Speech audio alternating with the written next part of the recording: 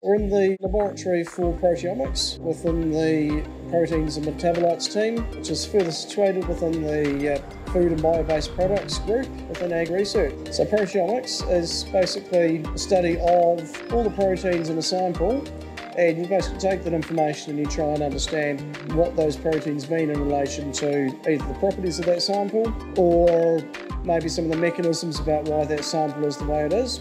And so what we do with metabolomics is basically the same thing, but we're looking at smaller molecules and proteins, and that reflects basically the interaction between genes and the environment. The, the instrument, the REIMS, we have this surgeon's knife here, we cut a sample of meat like that, creates this vapour, and the vapour goes up the tube, through this tube here, into a mass spectrometer, a bit like this one, and that vapour gives us uh, something a bit like a fingerprint, and that is like a unique signature for that particular sample. And that tells us about, for example, what kind of animal it is, what the animal's been eating, and even down the track, what kind of flavour that meat will have.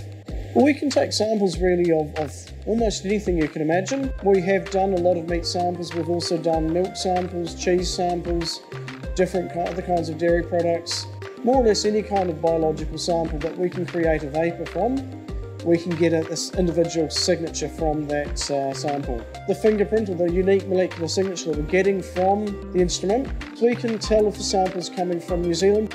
Or we can also take that further, we can add value by saying, well, this particular meat sample or this particular dairy product has got a signature which says it's going to be suitable for the European market, and maybe this other one's got something that's far more suitable for the Chinese market, and that means we can send the right kind of product to the right kind of place. And that really commands a lot of extra value because people want to get the best possible product. So one example of what we could do is we, we did a test where we got lamb samples from New Zealand, England and Wales, and these lamb samples were absolutely indistinguishable from each other visually.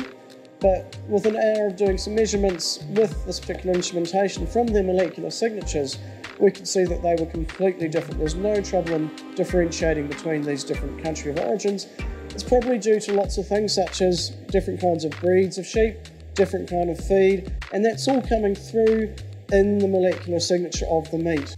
So using this kind of technology, we're able to guarantee to consumers that a particular product has come from a particular region of New Zealand even a particular farm possibly, and that can be guaranteed through blockchain technology. But blockchain technology needs to have information, it needs data. And with this technology, we can populate that at the start so we know this particular kind of molecular signature is related to this particular kind of area or region within New Zealand, to this type of animal, and this kind of agricultural system, and we can guarantee that all the way through to the consumer. This sort of idea we could take and we could make it mobile. We can go out to farms and start getting some really detailed information about, for example, animal health, or even looking at, say, the horticulture area. There's lots of different things we could use this for. This could be transformational for New Zealand agriculture, for New Zealand horticulture.